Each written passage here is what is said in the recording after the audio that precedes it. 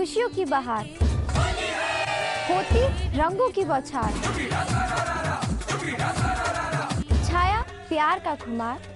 लो आया होली का त्योहार।